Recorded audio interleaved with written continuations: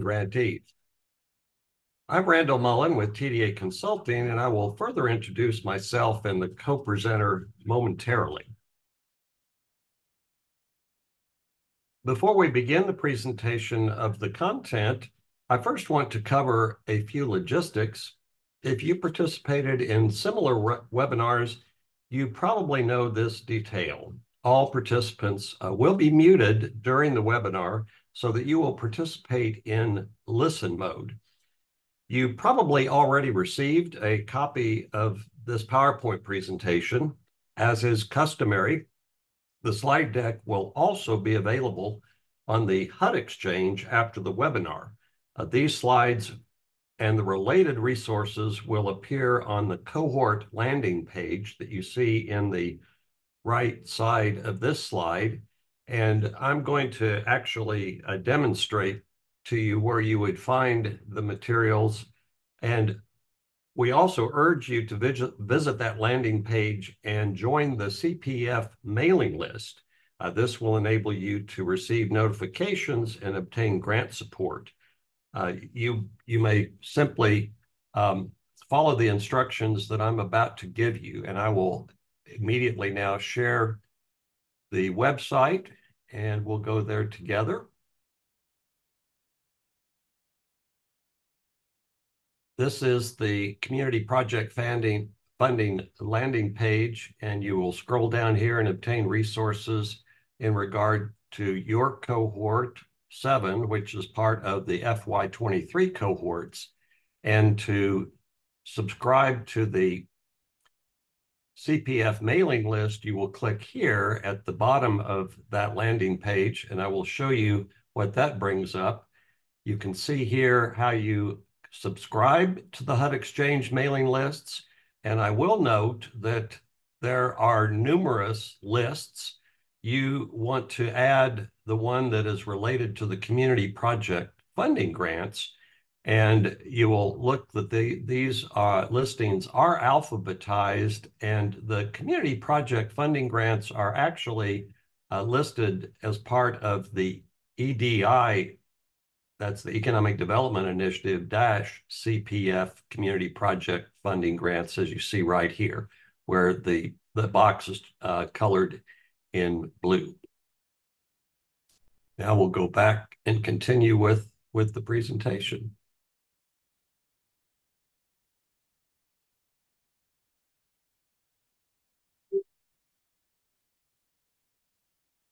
Although you will participate in listen mode, we will want for you to become actively engaged. Uh, you may submit content-related questions using the chat feature of Zoom, sending those questions to everyone.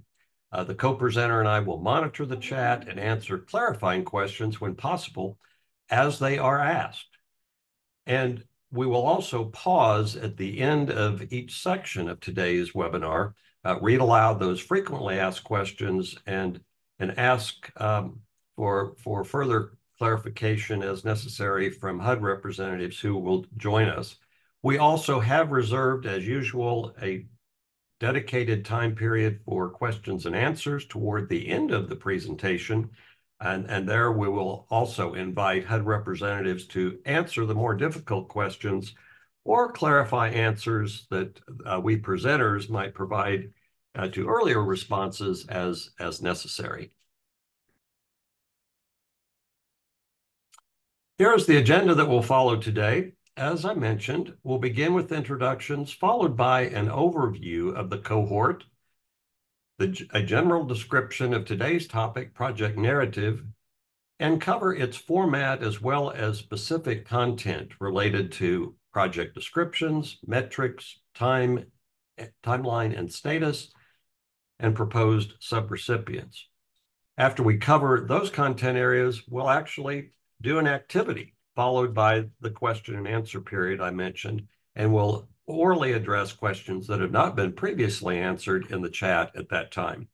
Uh, lastly, we'll, we'll provide you, yes, you're going to hear this correctly, with a homework assignment and urge you to complete it before the next session that will occur in about two weeks' time.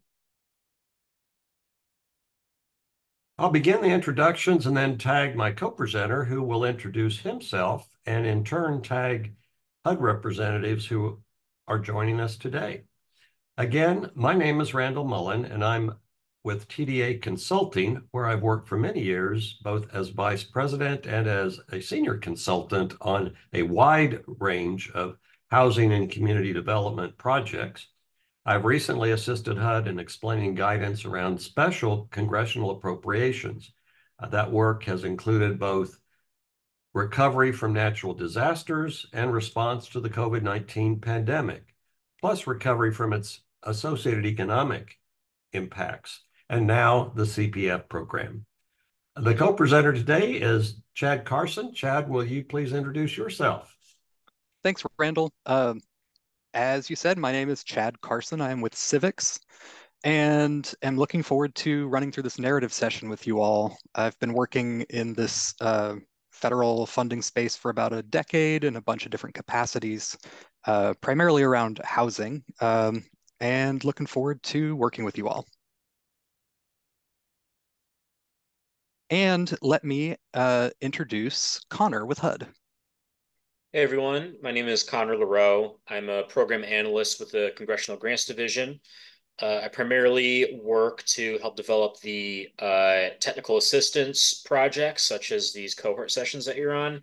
Um, and I also work as a systems officer. So um, assisting some of your grant officers with their portfolio of grantees as it relates to DRGR system access and troubleshoot. And I believe we have a grant officer on, uh, Eileen Barnhart, if she wants to jump on and introduce herself. Hi, I'm Eileen Barnhart. I'm one of the grant officers and here to answer any questions that uh, you may have. And I wish you all a great session today. All right. Thank you, Eileen and Connor, as well as Chad. The CPF cohort is assembled for us to provide specific guidance that will assist you in the satisfactory completion of all the necessary grant materials. You were invited to join this cohort, as I mentioned earlier, on the basis of your award of a CPF grant. Session one today will specifically assist you with the completion of the required information that leads to executing your grant agreement beginning with the project narrative. And this will enable you to turn your attention eventually after you complete all of the sessions of your grant materials. And then uh, those you will be able to proceed in implementing your special project. Today's session on, on project narrative is the first of four sessions. You, you see here that at two week intervals, you will also be uh, attending sessions on the budget, the environmental review, as well as the necessary forms to be submitted with your grant package. Uh, the additional sessions uh, will also be accompanied by office hours sessions, which we will mention toward the end of this presentation.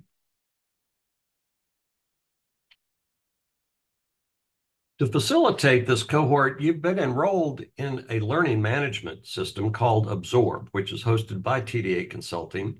Uh, this system will eventually extend beyond the delivery of this presentation uh, and the other three sessions. The LMS feature will include useful resources as well as serve as a platform uh, for future interaction with cohorts. We'll now turn our attention to the key narrative content areas that Chad and I will go over. Uh, I will briefly discuss the project description, and then Chad will cover the other areas you see listed here.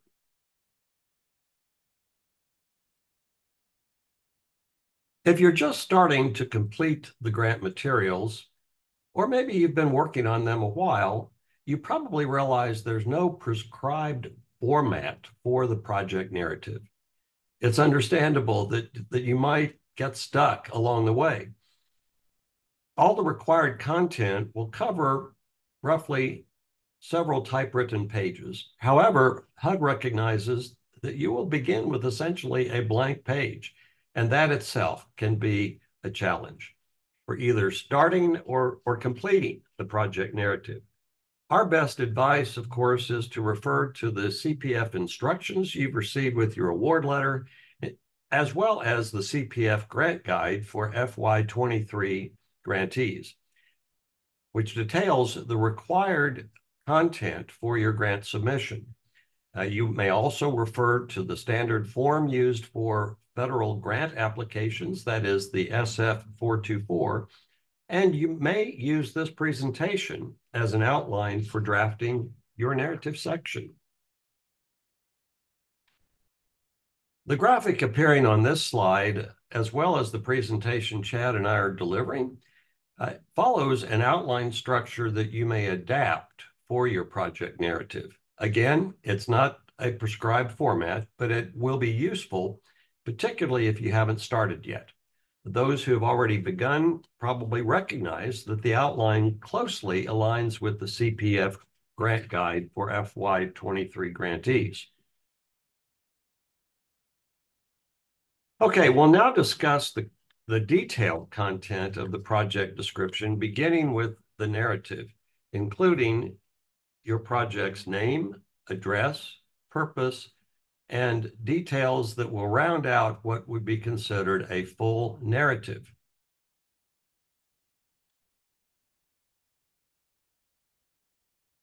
A satisfactory project description begins with the seemingly simple task of identifying your community's project name.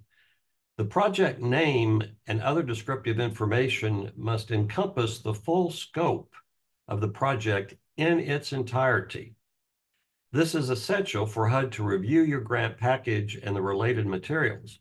You will also need to obtain that information to inform the level of environmental review necessary to gain clearance of your project.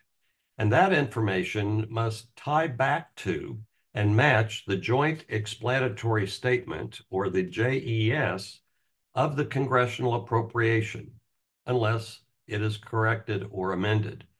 I'll elaborate on this last point momentarily. Because there are literally thousands of these community project funding grants since Congress resumed appropriating funds for such uses, the description must precisely identify the project location. Uh, you must provide an address if that's available Otherwise, GPS coordinates are acceptable. Uh, you will see in this example that we've actually planted a stake in the center of Washington, D.C., using its coordinates uh, in that they may be recognized by HUD representatives with us today. You're also encouraged to include a map depicting the site of the project if that enhances your project description. The narrative must also clearly describe your project's purpose. This may be as simple as a one sentence summary describing what the project seeks to accomplish. However, in all cases, you absolutely must use language for, for the project scope that appears in the congressional record as part of the JES. For example, if the JES describes construction of Gateway Plaza in your community, the narrative should also describe a proposed appropriation of funds for the construction of Gateway Plaza. HUD has provided these examples on the, the slide showing now, which are acceptable purpose statements appearing in a submitted grant package. The first, the Community Foundation of Illinois will construct a 12,000 square foot community center in Peoria, Illinois. The city of Omaha will launch a Main Street revitalization program, renovating the facades of historic storefronts on East Main Street. And thirdly, the town of Gatlinburg will create an updated storm water management plan.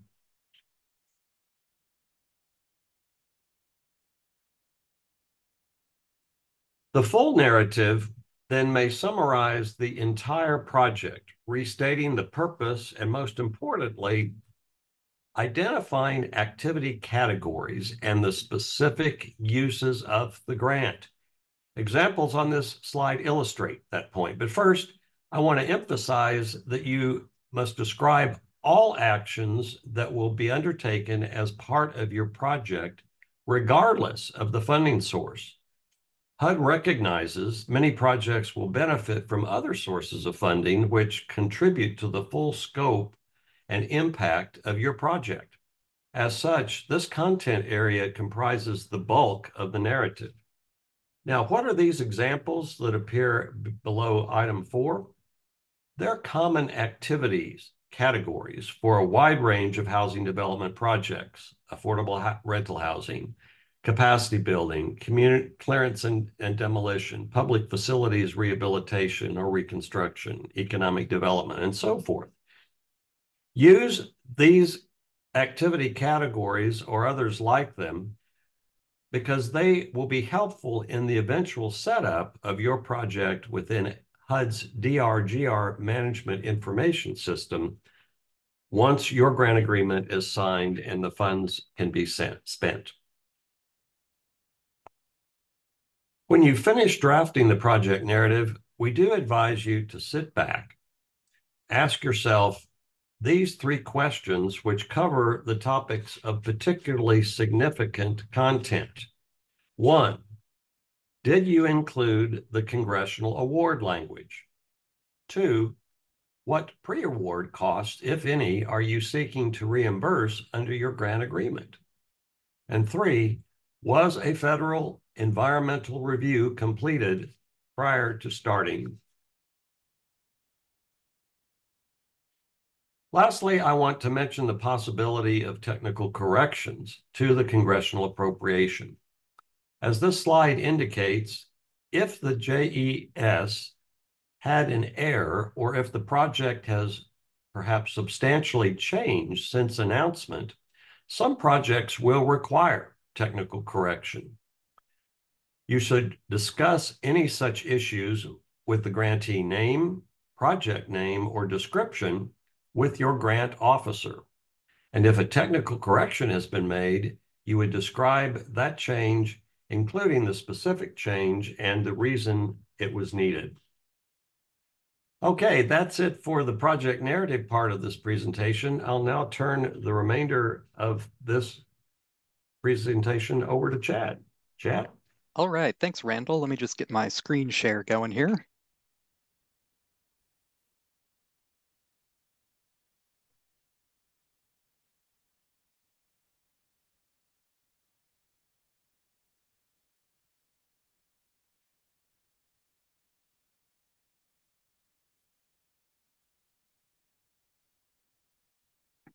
There we go.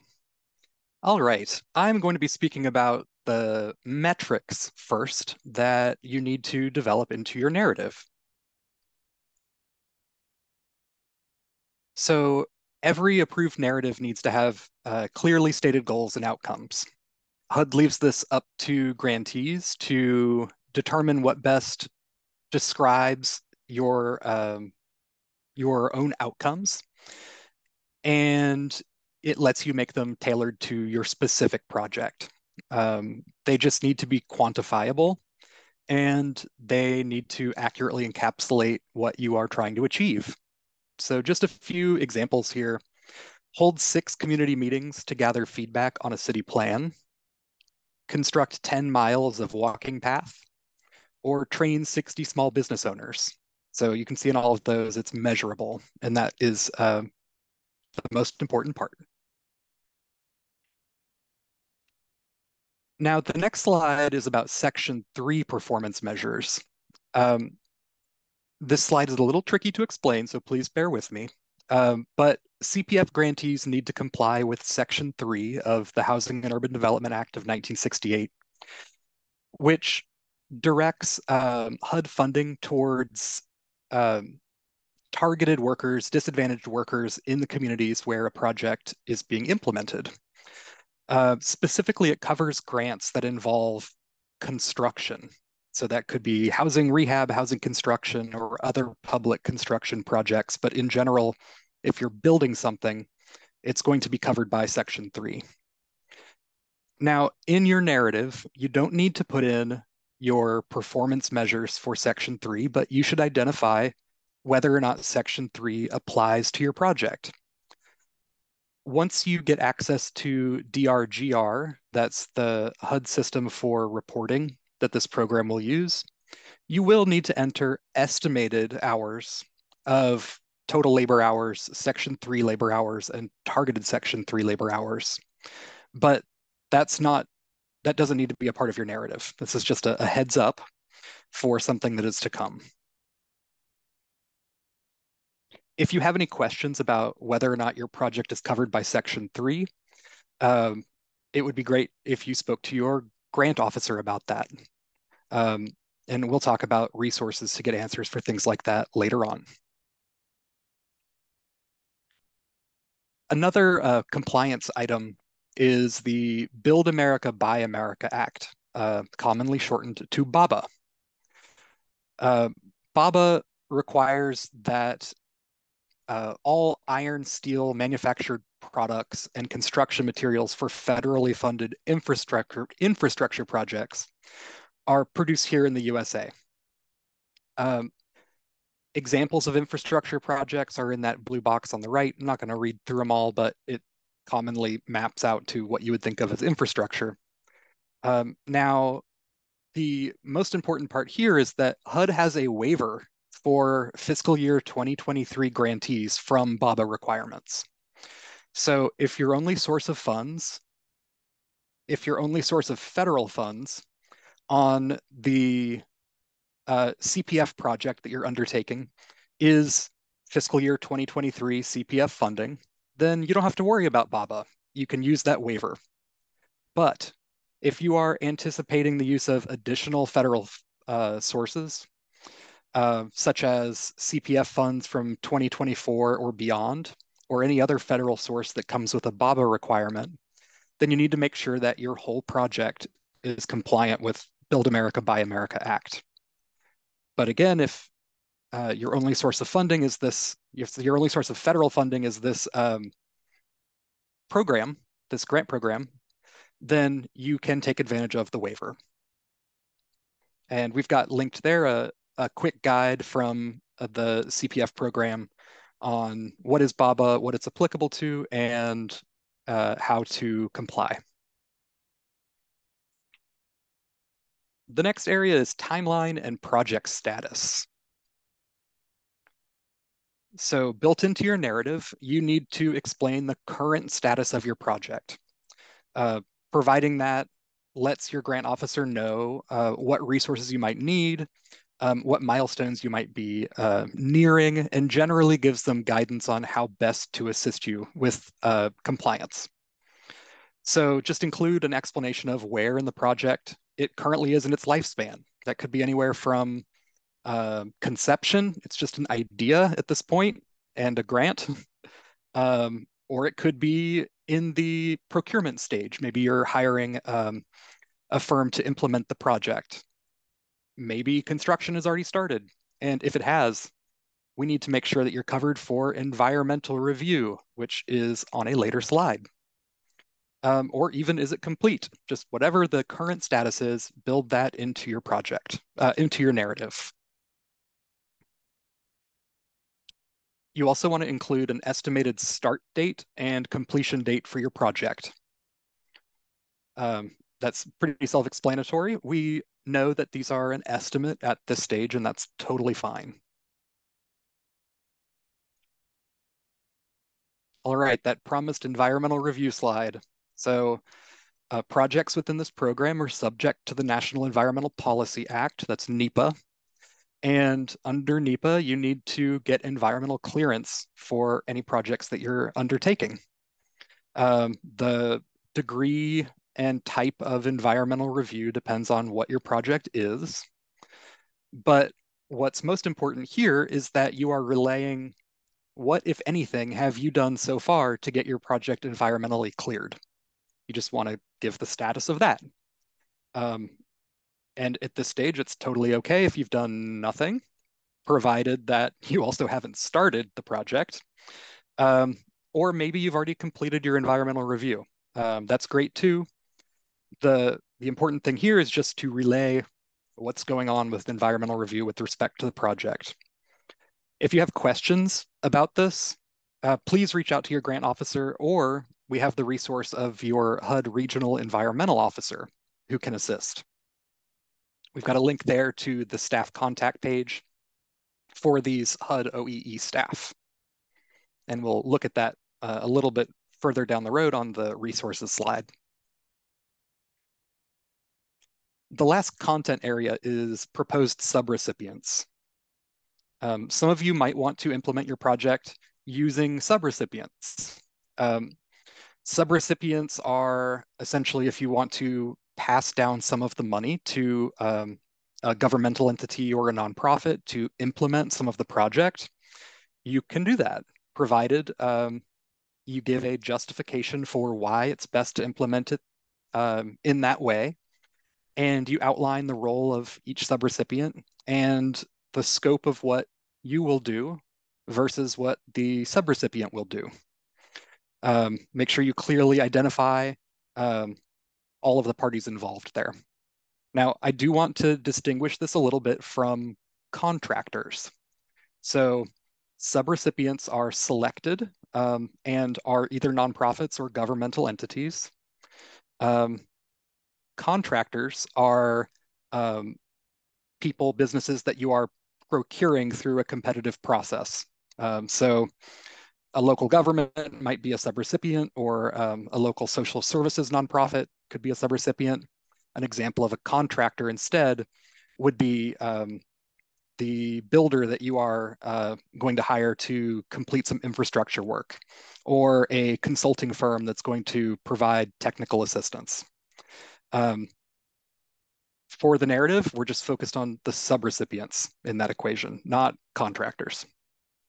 Chad, before you advance to the next slide, we do have a few questions concerning what you've covered as well as what I've covered. Uh, shall we try to answer those questions? Yeah.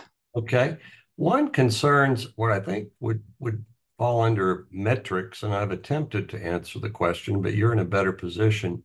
Uh, Beth states we are upgrading over 30,000 lights citywide a pretty large number. Is the project description uh, citywide sufficient for the address? And then I also thought that they might want to relate that to, to the, the metric.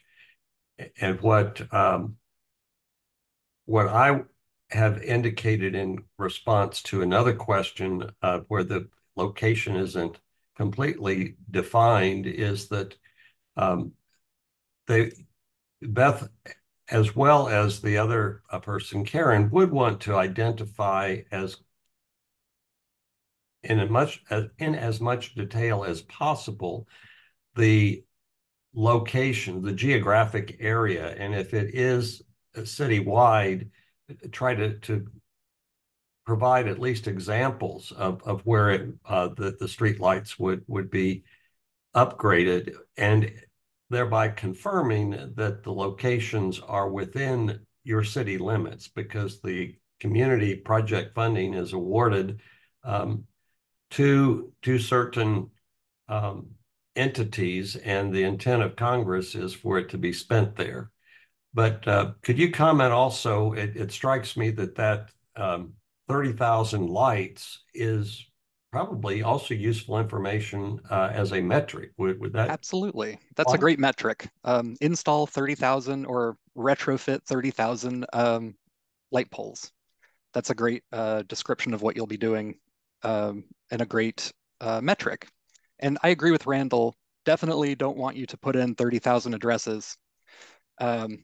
If you could um, potentially plot them um, in GIS and provide a map, that would be great. Um, Randall's idea of examples is also great, um, including a boundary map of your city um, would also be uh, helpful.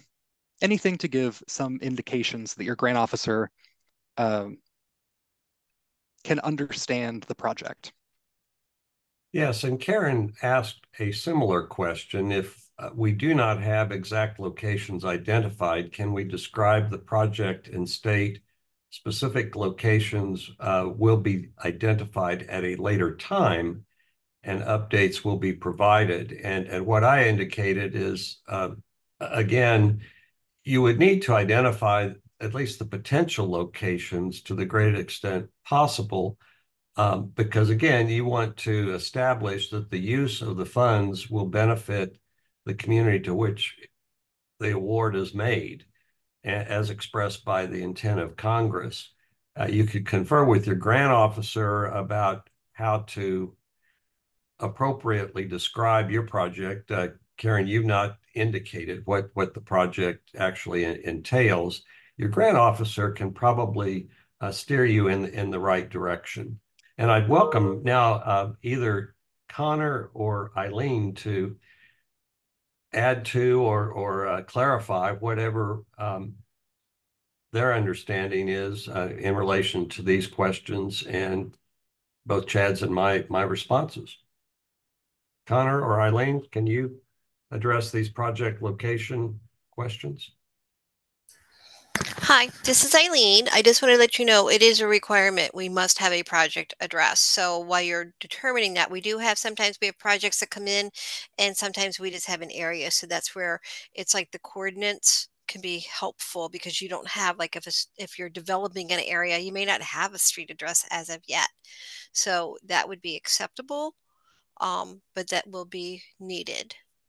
And um, not sure what else. Well, eh, how about the um, the citywide uh, streetlight replacement program?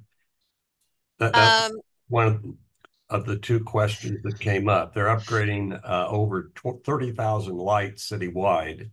Right. Is description citywide sufficient to for the address? Well, I would I'd put down the city and then in your SF 424 on line 14, you'd do citywide and you might want to say, maybe you might need to put in the boundaries. Yes.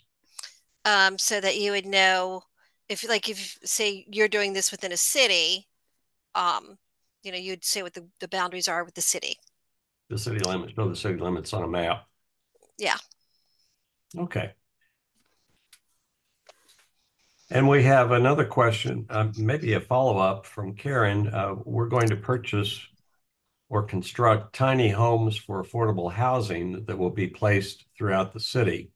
And we have not identified the exact sites yet.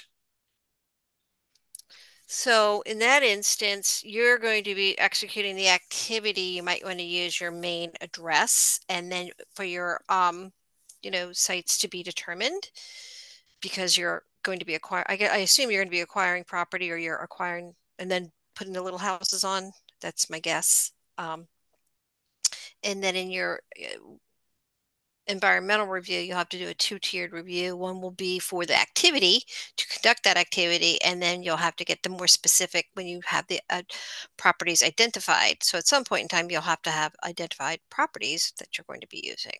But in, initially, you could put for this activity your main address. And there again, that's why you would want to be in touch with your grant officer because once absolutely can better identify the locations, or or perhaps the city has identified uh, priority locations that will be um, identified for constructing the, those tiny homes um, for affordable housing. That they would be uh, represented and and give the reviewers a bit more information to not only confirm that the, the tiny homes will be constructed in uh, the community for, for, which the funds were awarded, but but also you're referring to them, you know, being affordable housing, and and you would ideally, you know, say that they're responding to to a market uh, demand in those certain selected areas of the city. Do we have any other questions, Chad? No, that's that's all we've received so far. So we'll keep on going and all feel right. free to continue adding questions as you think of them. Okay. So Hi, this is this is Melissa. I came on a little bit late. I was running late from another meeting, so I apologize um, for just uh, blurring out and not writing my question in the chat. But I do have a question with regards to um, the HUD funding. What happens if the project moves to a different location and a different address? And that would be after you've submitted your narrative and got your grant Correct. agreement We- approved? Correct. Either I would- or Arlene, that would involve, uh. I would immediately amendment. contact the grant officer because that um that that could potentially be a change in the scope of work Right. if you're changing Yeah, the so- location. So I would con I would contact the grant officer and proceed from there. I don't want to misadvise you. Yeah, so we did contact um, the grant advisor and they have a new staff person. And so she was new to this. And so I guess she didn't really know what to do as well. Okay. Um, send the me- can you send your message to Connor and then we'll we'll accelerate it? Sure. Can you put Connor's email address on the chat or in the chat? Connor, would you mind putting their information in? Thank you, Connor.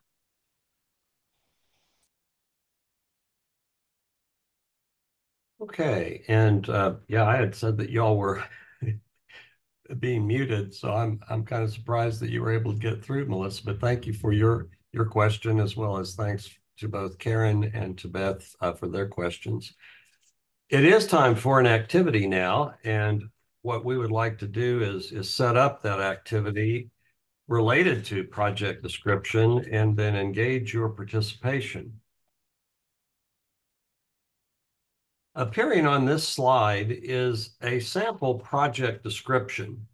Uh, as I explained earlier, a grantee's project description should identify the exact activity, entire scope, sources of funding, and the other details that tie back to the congressional appropriation.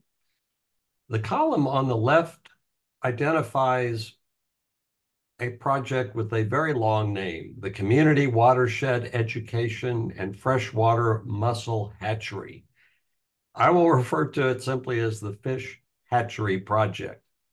And it's commonly referred to as a project of Bartram's Garden. The grantee has highlighted, uh, or I have highlighted, the grantee's summary that indicates funds will design and construct a new watershed education and restoration complex on previously acquired land. That's highlighted just below the project summary, and you will, will see those words, will design and construct the facility on previously acquired land at Bartram's Gardens. The center column is a page from the congressional record. And it lists the joint explanatory statements, a, a few of them, appropriating funds for the set of awards that you see listed here. And the first on this list is the CWEFM hatchery or the fish hatchery project offered or, or funded for Bartram, the John Bartram Association at, in a particular state that's not identified and, and a funding award of $2 million. And what do we see in that first column of the congressional record, the joint explanatory statement for the Bartram's Gardens project? The fish hatchery dash land acquisition. And the question here is, does that match um, the, the, does their narrative on the left side match the joint explanatory statement in the congressional record or specifically the intent of Congress for the use of their funding award of $2 million? And we're going to put up a poll in just one second for y'all to respond to. That's right. Um, the question posed to you, as, as Chad's suggesting, is what is the appropriate grantee action in this case? There are three possible choices.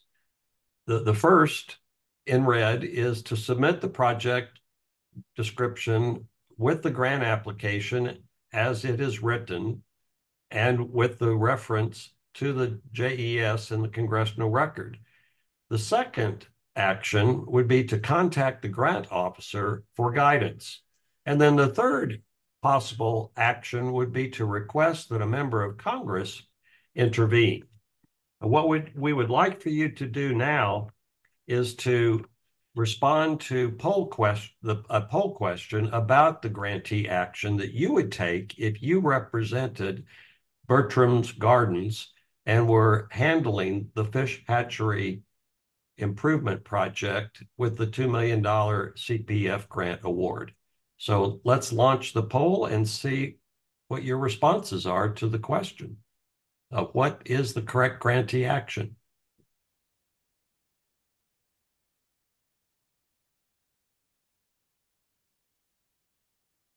And Chad, we have about 60 participants in today's webinar, so let's try to get responses from roughly um, two thirds of them.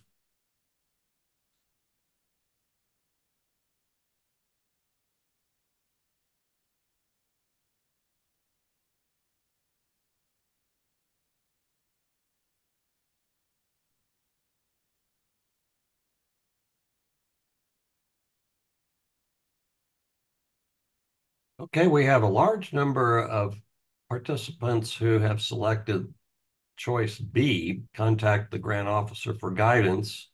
A few have indicated A, submit the project description with the grant application. Uh, no one has yet indicated C, request that a member of Congress intervene. Oh, come on. You don't want to phone your congressman for this one?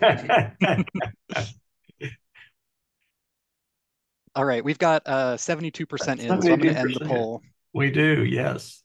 And the overwhelming majority of you did select contact your grant officer. So we can stop the poll and uh, you may advance to the next slide for us to identify and discuss the correct answer. Uh, to summarize our, discussion on the activity, we determined that the narrative for Bartram Gardens is complete. Uh, it, it covers the elements of the project description. And of course, you were seeing only a highlighted part of that description, the part that was most essential, because it's the part that identifies the activity categories and should correspond with the joint economic statement that is the JES in the congressional record. Because HUD must execute grants in accordance with congressional intent conveyed through the grantee's name and the, that project description, such as it is in the JES, um, action is necessary to correct what is a discrepancy. The joint explanatory statement, the intent of Congress appears to be for Bartram Gardens to use $2 million awarded to that location, that community, for the purchase of land to establish the fish hatchery complex.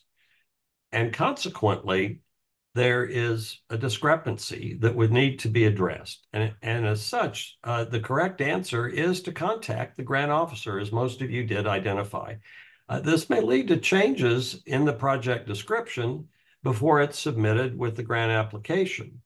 Uh, requesting a member of Congress to intervene would, would only complicate things at that point. If it is viewed to, to be a, a significant change and a technical corrections involved, that member of Congress could become involved at a later time.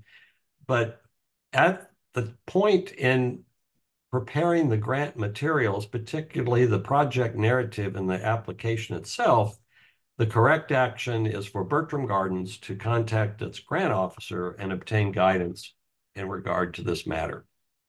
I'll stop there, Chad, and see if uh, any questions or comments came in uh, as I was setting up, asking the question, or were then Uh, Sh- Reporting. Cherie did ask a question, and I answered it in the chat, but it would be good just to touch on for everybody.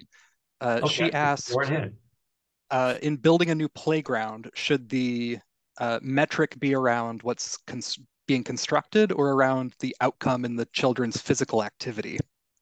Good question. Um, great question because I know you're definitely targeting uh, physical activity there. um, for an outcome, but I would suggest uh, going with what you can uh, most easily tangibly measure. Um, and that's going with construction. So it could be construct, um, you know, an X acre playground or install playground equipment at Y sites, something like that.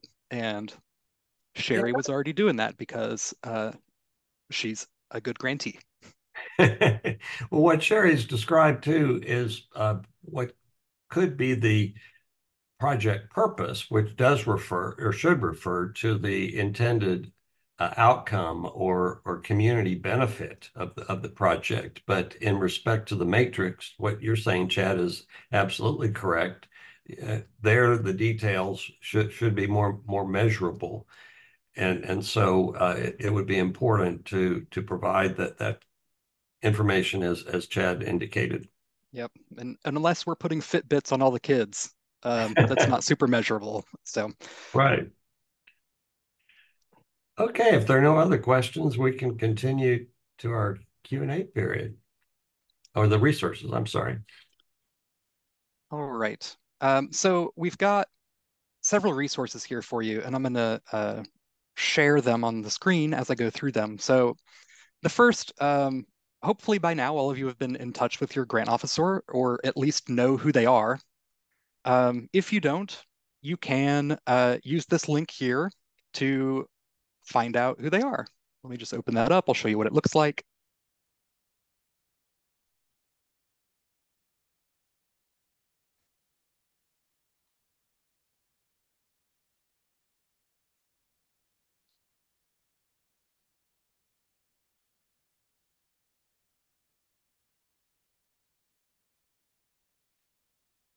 So it's a PDF here. Uh, you can see on the left side, it, the assignments for your CPF grant officer are split up by state. Um, so just read across the chart for your state and you'll see the most recent, um, most accurate assignee for your grant officer. If you continue across the chart, you'll see who your regional environmental officer is. Um, those email addresses um, are a great way to contact your regional environmental officer, but I'll show you another way too as we go through these resources. All right, let's look at the next one.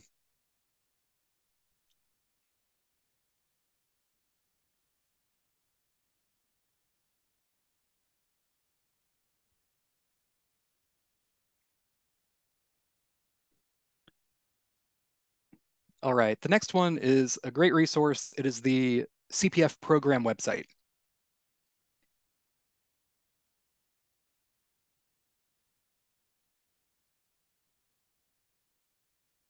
So this is your portal to all things CPF. And um, it's a great place to start with any questions that you might have. Um, if you're just starting out, I would work on familiarizing yourself with the resources that are here. Um, one of the most uh, critical pieces here is highlighted right here on the left, this CPF grant guides. And that's actually the next resource we had on the slide. So the grant guides um, are issued by fiscal year grantees, um, as in there's one guide for the 2022 grantees and one guide for the 2023 grantees. Um, in general, this should be 2023 grantees on the phone on this call. So make sure you download the correct one. Um, I know that there's, you see version one and version two here. Don't be fooled. Um, there is a version one and two of uh, the 2022 version, but for the 2023 version, there's just a version one, and that's the one that you want. And I will show you just real briefly what that looks like.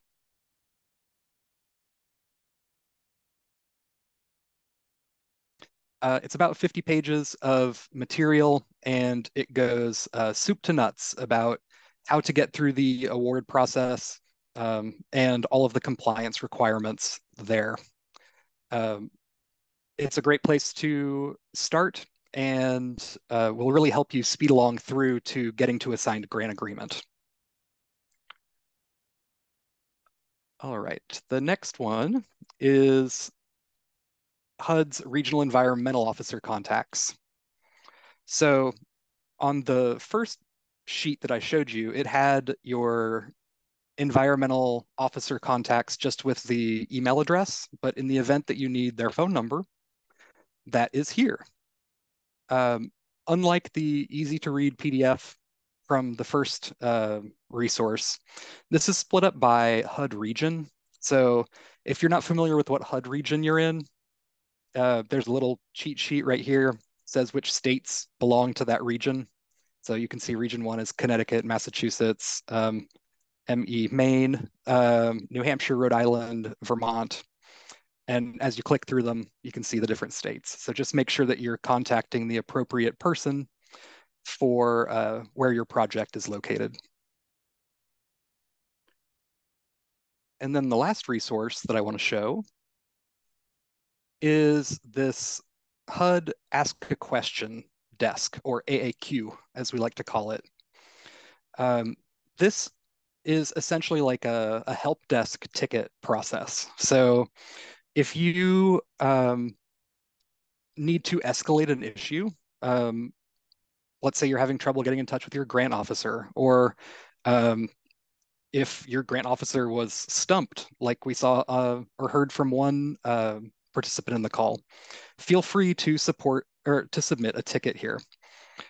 You just are putting in your information and it ends up into um, the database and it is tracked by the program and by HUD management to make sure that you get um, your issues addressed. So first, of course, you want to be dealing with your grant officer, but in the event that you've got a tricky question or have hit some obstacle that your grant officer hasn't been able to resolve for you, feel free to use this tool to reach out um, to the higher ups. And let me just get back to my slide deck. And Chad, as you're navigating back to the slide deck, uh, we do want to stress the importance of using the AAQ that is the CPF help desk, to address any issue or question that you might have. And, and we specifically have understood from HUD that they would like to know where a grantee uh, may be having difficulty getting in touch with a grant officer. As you might know, uh, Congress has appropriated funds for literally thousands of CPF grants after having not done so for, for decades. And now uh, the Department of HUD is gearing up to handle a very large number. And the grant officers are quite busy.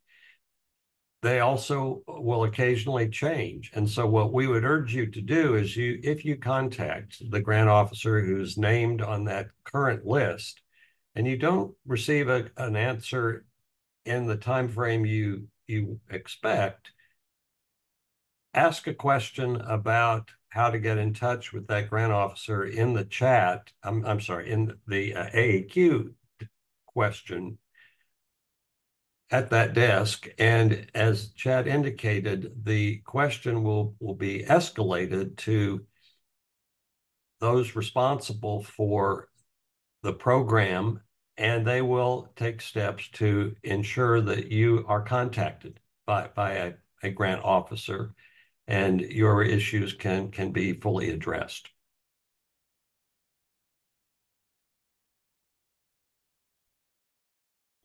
All right, so last resource I want to mention is the CPF desk guides, and these are still coming soon. These are a tool that we're developing based on the feedback that we get from grantees in these cohort sessions. So we appreciate all the questions you're asking. We're going to use them to uh, build out these guides that will be a helpful tool to on. Um, thanks for the questions. That's where they're going.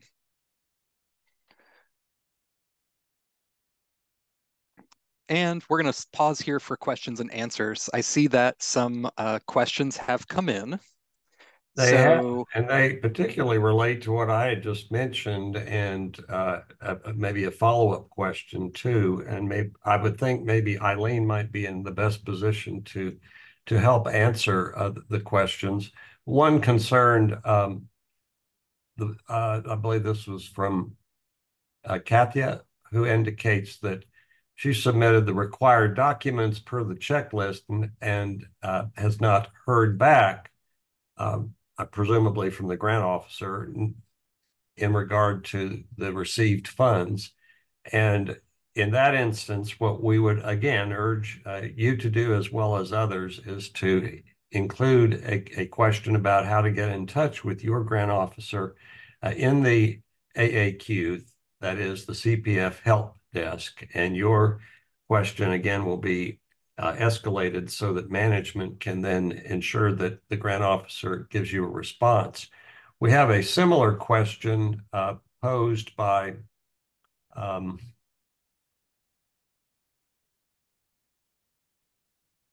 Morgan, who indicates that their organization has already submitted the narrative and supporting docs.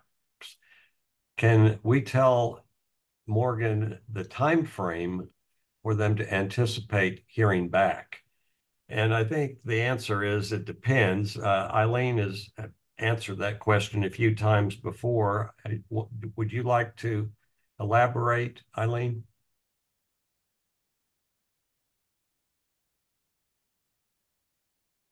Is Eileen still with us? She might not be able to unmute. Um, okay, do you want to take that question? Yeah, I, I, can take that. Yeah, so we we don't um our our division doesn't give a specified time frame for how long the reviews take, simply because there's a lot of factors that go into the review. Um, different grant officers have different work uh not workflows, different um workloads, and sometimes grant packages take longer to review than others. So um I would recommend uh, if you've submitted materials and, and haven't heard back on, um, you know, whether it's approved or needs edits, uh, I would just, if possible, reach out to your grant officer for uh, for a further update because they'd probably be the best point of contact to give you an update since they're the ones reviewing your grant package. Eileen, did you have anything to add to that? No. No. I think you put you put yourself on mute again. Yourself. But it, yeah, but I, I think I think we got the the gist.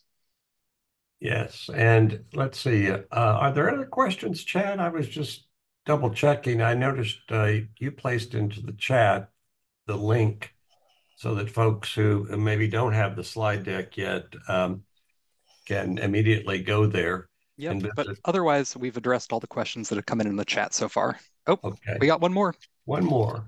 Linda asks, where can I view what my organization has submitted? Uh, good question. I, am not not sure that that you can view it at at present. HUD is developing a system that might provide information that will uh, give that status of of the review, but Connor, do you want to take that question and, and indicate what is the, the, the present way to, if any, uh, viewing what has been submitted? Oh my gosh, Connor can't unmute. No one can unmute. I'm so We're sorry.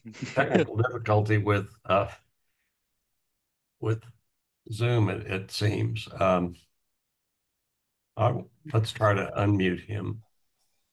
Thanks. So there there isn't a way to like if I mean if you're referring to a portal to where you can see all your your documents in, in one place. We don't have that developed yet for FY23 grantees. So uh, I mean, you should be keeping records of all of the documents that you create and submit via email to your grant officer. Um, of course, you could always, again, ask your grant officer to see if they have a record of what you submitted to them if you can't find it um, yourself for whatever reason. Yeah, Connor, once the, the grant application is approved and a and an agreement is signed, uh, the the circumstances might change because there there would would be information in in the the DRGR system, correct? Um, No, not necessarily. I mean, No? once a grantee gets access to DRGR, that's when the action plan submission like setup process begins, and that's when you would take a lot of the information from your um, from your grant submission packet and use it to inform um, what you use to create your action plan. So, I mean, there, there there will be basic grant information on your grant in there, like you know your grant number, the the amount of uh, of funds that you're authorized to use, that sort of thing. But it won't be as specific. Like like your like your narrative and budget won't be won't be pre-populated in in DRGR once you access it. You'll have to um, put that in yourself when you set up your action plan. But what they submit at the time, like you said, that that would they would have access to what they submit at at that stage, like the the action plan. Um, maybe, maybe I'm getting confused on on exactly what's being asked. I mean, all all the documents you the grantee should have all the documents that that they're using and collecting to submit to the grant officer. Mm-hmm. Um, and the grant officer will will have those on there, and we our division will have a record of those documents. Um, if if a if a grantee needs to access those again. Uh, we got a little bit of clarification from Linda. So she has a grant agreement with a number. Does that mean a narrative has already been submitted and approved? Is it a grant No. number? If it's just a grant number, that's how they're identified. Everybody has a grant number. When they start their process, they get a grant number. She says, I have a grant agreement with a number. Okay, Is it an executed Is grant agreement? executed? Because because Yeah. you'll because every all grantees will receive a standard grant agreement that needs to be signed by both the organization and then eventually our division once the grant package has been submitted and fully approved. So every grantee has a grant agreement, but it's not executed until your submission is submitted, approved, um, and signed by us. I, I'm gonna make this suggestion. When you get your um s- email from the CPF mailbox that has your fully executed grant agreement, it's also gonna have your DRGR information. In your fully executed grant agreement is also your project narrative and your budget. And those are the pieces of information that you're going to need to set up your action plan, which is your um, approved project narrative and your budget. So if you use that, that can be your your tool to move Yeah. forward. That makes sense. Thank you, Connor and Eileen. We have a follow-up question, or maybe it, was a question uh, raised earlier. Um, Jamie indicates our grant went through technical revisions, so the title changed. We use the updated title according to the technical revision, correct? I guess he's uh, saying, do we use the updated title according to the technical revision? Yes. Hold on to that letter. Yes, hold Keep on your that. records. I mean, I, I had, I, that is the same question I had a grantee ask me yesterday because they underwent, underwent technical correction and it was known as one thing, then it went to, so the, it changed the use of the funds, they changed the title. And I said, you know, because we talk about this, like you're throughout the paperwork, we're like, you use your JES statement. So you now have a new title. Use your new title, hold on to your letter. If it ever gets questioned or there's a snag, you pop up that letter. And it's probably worth repeating, uh, even a third time to hold on to that letter. If you go through the technical correction process, you're essentially, obtaining assistance in changing an act of Congress in a, in a technical way, and it takes a while. And you do not want to have to start that process all over again. Chad, do we have any other questions? We do. Um, MJ asks, is it possible to access funds for site studies to complete the NEPA review?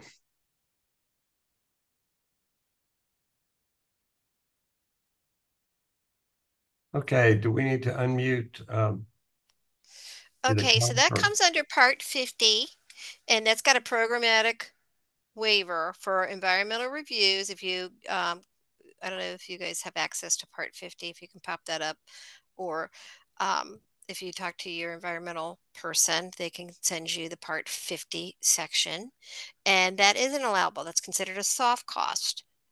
You can incur those costs, but you don't get reimbursed for them until you're under grant agreement because it's necessary to have an environmental review depending on the extent of your project. But they can get reimbursed for it. It's an eligible pre-award cost. It is an eligible pre-award cost, and that uh, information is also addressed in your grant guide. I don't have the page number off the top of my head, but I could try and find it for you. Well, we actually have a slide, and I'm, I'm going to ask Chad if you go back to the slide that has the the CPF related uh, laws and regulations.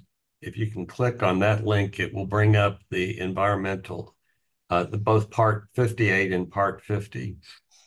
So just to be on the safe side, I would go and contact your field environmental officer. Give them your grant number, tell them who you are, tell them what you want to do, and they can give you that information, and then you would have that as a record.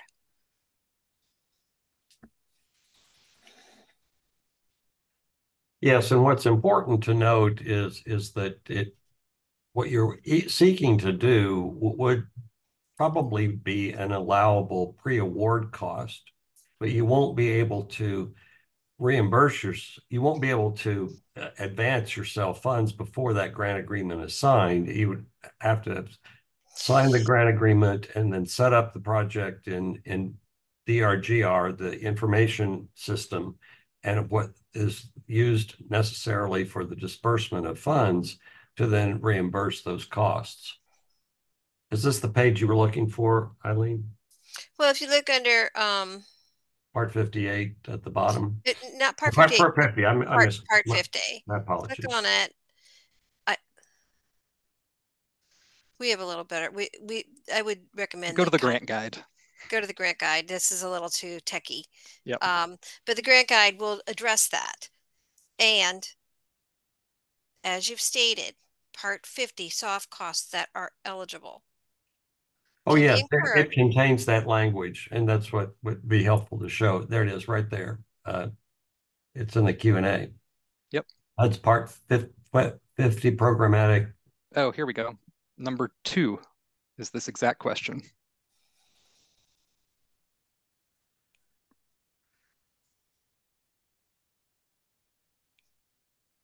And the preceding question says, uh, prior to completion of the en- environmental review grantees can incur eligible soft costs for planning and administration anytime after the date, date of enactment, which for your grants in the FY twenty-three class was December 29, 2022.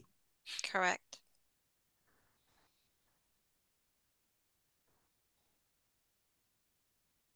Hopefully that answers the question, MJ. And we have one more message. Oh, she thanks, or he or she thanks us. Okay, good. And let's see. Oh, I lost my chat window. There it is. Um,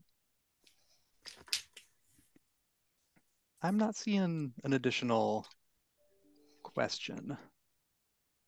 I'm checking as well. Um, I, I do see there's a reference here to, to the recording, and there will be both a transcript and a link to a recording posted at the HUD Exchange in the location where Chad navigated to, uh, showing you the resources for FY twenty-three grant awardees.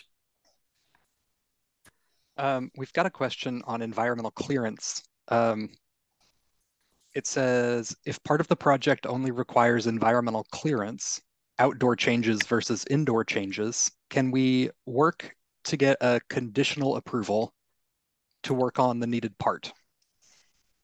I would not recommend that.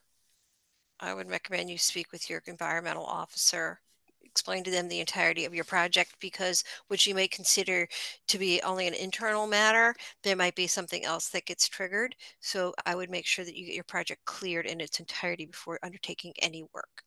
Yes. Sound advice. And it's appreciated by Shekar. Okay, Chad. It looks like unless another question pops in as I speak, you can go back to the concluding slides. All right, so what's up next?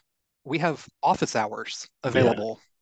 If you want to discuss your project or your narrative in depth, you'll have both Randall, myself, and HUD representatives available. to get some more in-depth um, discussion and troubleshooting. That's coming up next week on April 9th, same time, 2 p.m. to 3.30 p.m. And we welcome you to join us if you need some more help. And what's important to note there, uh, we we haven't made this, this distinction very um, plain today, but uh, everyone will participate in the, the meeting in such a way where you could will be invited to come off mute and and ask your question or offer further clarifying details. And to the extent time permits, uh, even kind of uh, discuss your project narrative issues with us. The, so the entire panel, Chad, myself, and, and the HUD representatives, if time permits, you very well may even be invited to, to share any uh, written content that you would like to to have us react to. Uh, this is more of a work session than than a formal webinar, and we would welcome your active participation uh, next Tuesday, April 9th, uh, beginning at 2 p.m. Eastern. All right, so we do have a homework assignment. Yes, you thought uh, I was don't worry, it's not too painful. Um, so what we're hoping that you can do is get ready for the next uh, cohort session, which is on budget. So coming out of this session, um, as you're finishing up your project narrative, make sure you're thinking about your entire, the entire scope of your project. Because you're going to want to, for the budget, identify not only the CPF grant, but also any other sources of funding that are going to go into your project. And with that, you're going to be developing a detailed budget that covers all of the sources of funding and all of the things that you are spending it on. So if you can come to the budget session with that in mind, you will be off to a good start um, to have a, a productive cohort session. And that budget session is coming up on April 18th. And like Randall said at the top of the presentation, this is a four-part series. So uh, narrative is the first one, then we've got budget, environmental, and forms. And it's probably important to note that each of those parts or sessions of this webinar series will have its own separate office hours too. So uh, if you do choose to uh, complete your homework assignment and gather the information for your budget, then you receive guidance on on preparing that budget, there'll be an office hours section where you actually could could share your your budget and determine whether or not uh, it completely de describes the entirety of your project in a manner that is appropriate for a full project narrative and and grant submission. It would be like um, doing the work that would have prevented uh, maybe Bartram's Gardens from encountering the issue that that they faced. Uh, if they had similarly prepared in in advance uh, at the time of making their request to the member of Congress, uh, the fact that they they were in the process of of acquiring land from uh, and, and, were uh, raising money for that funding source and once that land was acquired, uh, they were then going to want funding to improve that complex associated with the, the fish hatchery, then it would have become uh, much more plainly evident to everyone involved in their project that that project received multiple sources of funding. And as such, when you hear descriptions of the budget guidance, you'll hear representatives panelists stress the importance of identifying all of the sources and uses of funds, especially the CPF funding grant use, all to correspond with the project narrative elements that Chad, Eileen, Connor, and I have gone over today.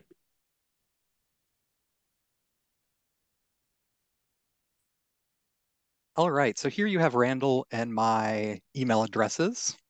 If you have any questions about the content of the presentation, don't hesitate to reach out. We're happy to be a resource for you.